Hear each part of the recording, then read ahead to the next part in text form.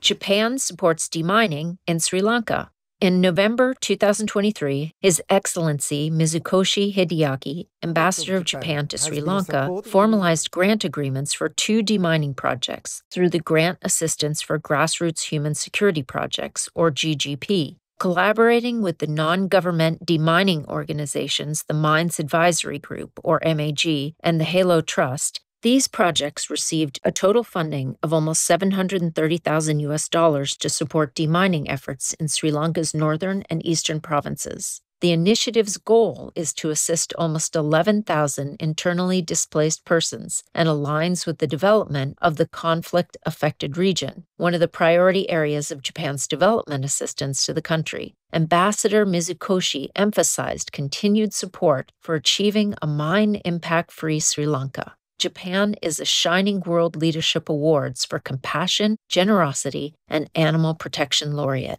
Stellar work, Japan, on your commitment. May the earnest Sri Lankan people be safe and flourish in Buddha's mercy.